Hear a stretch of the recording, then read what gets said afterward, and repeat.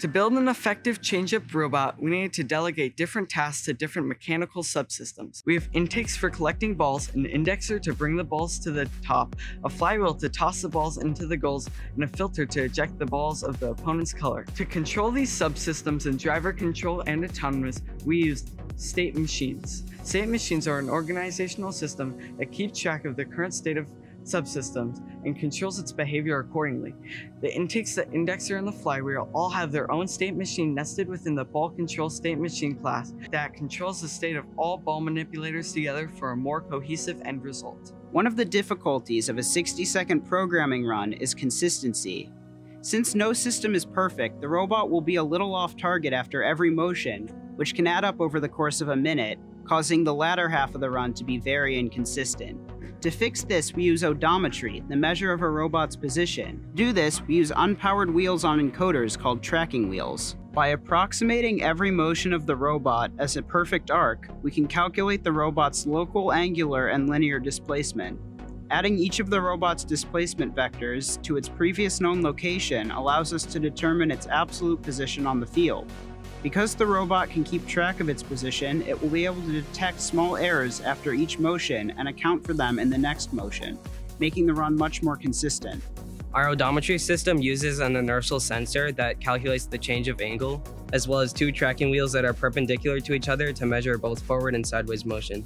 The tracking wheels are specifically designed to stay in contact with the tiles even when the robot tips, so accurate translational information can always be collected.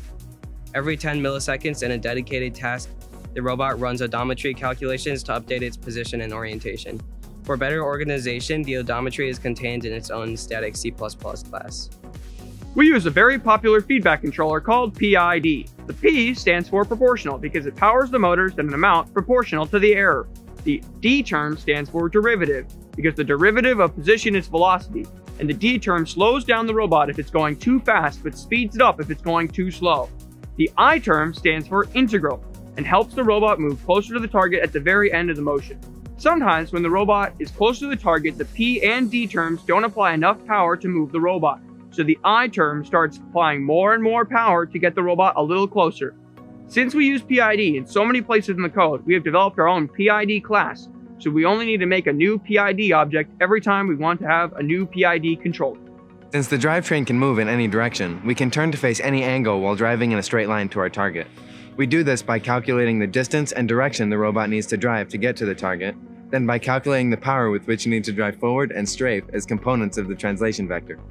Finally, we can turn at the same time by simply adding the values calculated by the turn PID. Move the robot across the field, all we need to do is tell it the coordinates of its target and it'll use odometry and PID control to drive there as accurately as possible. Async action is a system that allows the robot to execute multiple actions at once by passing anonymous functions to be executed at a certain distance away from the target. Using standard C++ vectors, we are able to add as many async actions to motion as we'd like. To implement async action, we need to tell it how many inches from the target to activate, then pass a lambda function of what actions we wanted to execute at that point, like turning on the intakes 12 inches from the target.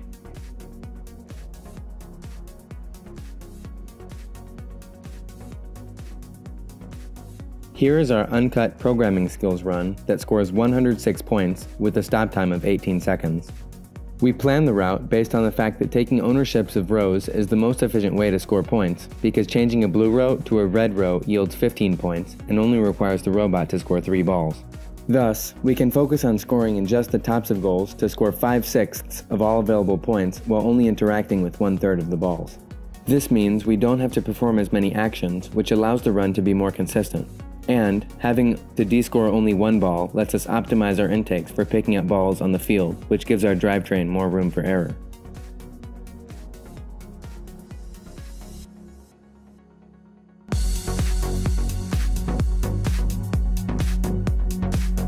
Thank you for considering us for the VRC Annotated Programming Skills Challenge.